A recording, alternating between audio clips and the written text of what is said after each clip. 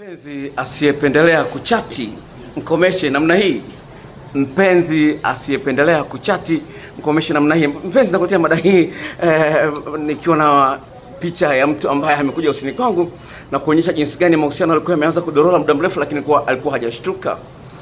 Unapokuwa kwenye mahusiano ya kimapenzi au unapomwambia mtu nakupenda, unamwahidi, unamwambia kwamba mimi ndiye ambaye nitachangia furaha yako kwa kiasi kikubwa sana yaani nitachangia furaha yako, amani yako kwa kiasi kikubwa sana kuliko hata mama yako na baba yako. Ndio maana Biblia inasema kwamba kwa maana yeye atamwacha wazazi wake, atampatana na mumewe, atakumbana na mkewe, wanakuwa mwili mmoja. Sasa ukiona mpenzi wako hapendi kuchati, kuna ujumbe anaokupa na lazima uusikilize. Kuna ujumbe anaokupa na lazima uusikilize. Naomba unisikilize, nitakwambia sawa. Kuchati ni moja kati ya njia nzuri ya kuweza kuwasiliana na mpenzi wako. Unapochati unafikiria ni jibu vipi kuliko kama mlikuwa mnaongea kwa simu moja kwa moja. Kwa hiyo unaweza ukapima uzito wa mawazo ya mpenzi wako kwa kupitia kuchati. Text message, SMS ni muhimu sana kuliko ya mtu anasema bwana, nilikuwa nimepitiwa tu. Ah, ah, kwenye kuchati manake mtu anapanga, anatunga maneno, anayaandika pale, anayapima uzito wake, yatamwathiri vipi kihisia mpenzi wangu. Sasa mpenzi anayekwepa kuchati anakwambia bwana, mimi sipendelee bwana mambo ya kuchati, napenda kupiga simu.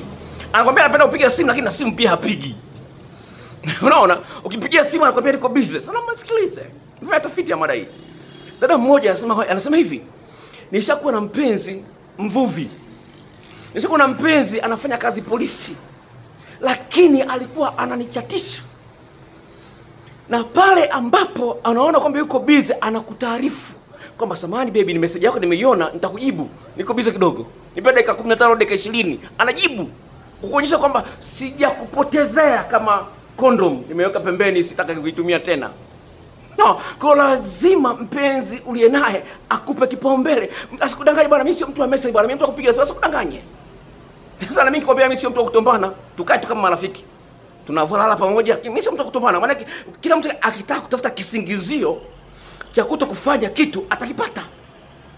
Kwa hiyo kwa hiyo unaweza kupata kisingizio, ah ah, bwana tafuta na hela zako. Ukitaka kisingizio utakipata tu. Kwa hiyo usiruhusu mpenzi wako atumie kisingizio kwamba bwana, mimi sio mtu wa kuchata, sipendelee kuchata. Sio kweli. Mbona napenda kutombana? Kama mimi sipendelee kutombana, je, itakuwaje? Unaposikiliza sawa sawa sawa sawa sawa sawa sawa, sikiliza sana, na sawa. Kama anakupenda lazima atajitahidi kukupa kipaumbele katika maeneo mbalimbali message haichukui dakika mbili. Hai sawa, message hata kutuma vimoji vimekushinda vile vipicha picha. Okay. Ni kwamba unakiri kwamba nimepokea hiyo message. Inakushinda. Eh? Afu unasema unampenda. Sikiza dada mmoja akasemaje? Akasema hivi. Akasema hivi. I don't like when people feel entitled to my time. I expect a guy to text me quickly because he should prioritize me if he wants me on a wife level. Hallelujah. Sasa hivi nikikutana na mtu ambaye ananiona kwamba mimi ni mpenzi wake na nataka mimi nije kuwe mke, wake, lazima anipe kipaumbele. Sio kwamba mimi ndio nina muda wa kumtext yeye, wa kumtumia message yeye, yeye hana muda wa kuchati na mimi. Ndawa. Kwa hiyo unaweza kuona jinsi gani inaweza mtu anajisikia vibaya, unionyeshe kwamba mimi ni wa thamani kwako. Unipe kipaumbele. Sasa utaambiwa kila kitu. Sawa? Wewe unasema kwamba bwana, mimi sio mtu wa kuchati. Sawa, sio mtu wa kuchati. Hujui jinsi gani mpenzi wako anaumia na hilo. Hujui. Hujui jinsi gani ana miss na kwa bahati mbaya. Katika ulimwengu huu ambapo mpenzi wako aishakuwa na wapenzi watatu huko nyuma, lazima atakuonyesha, atakuangalia, ah, mbona Zaina alikuwa na chati vizuri sana, mbona wewe Sinda, mbona ah, vipi? Atakulinganisha na wapenzi waliokutangulia. Sasa kusema kitumia kisingizio kwamba niko busy haitoshi. Mbona kunya unaenda kunya? Hata chooni unaweza kumtumia mpenzi wako message. Kwa chooni unakunya, unamjibu kwa message. Kwa hiyo swala kusema niko busy nene si kweli. Kama kweli una mapenzi ya kweli utahangaika kujitoa muhanga kwa ajili ya mtu wako. Ndio, jitoe muhanga ili aone. Labda kama anaendesha gari, dereva ma, mabasi, sawa. Itakuwa vigumu kuchat naye. Anatoka Dar es Salaam anaenda Mwanza, anaenda Iringa, anaenda Mbeya, sawa.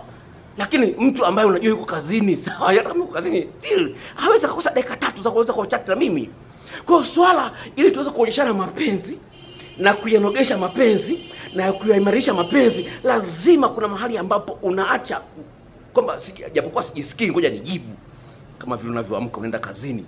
Mara nyingine mwili unakwambia endelea kulala, endelea kulala baby, lakini unajua kwamba lazima niende kazini. Unatoa kipaumbele kwa kazi, na kupenda ni kazi. Toa kipaumbele kwa mpenzi wako. Kama unataka mapenzi matamu, sawa, kuna mahali napaswa itoe muhanga, sio usubiri kwamba nijisikie kuandika meseji. Ah, ah. Huko hayo sio mapenzi halisi. Mapenzi hayategemei hisia, hisia zinaisha. hisia zitaisha kama ushuzi mtu anapojamba. Kwa hiyo usitegemee hisia.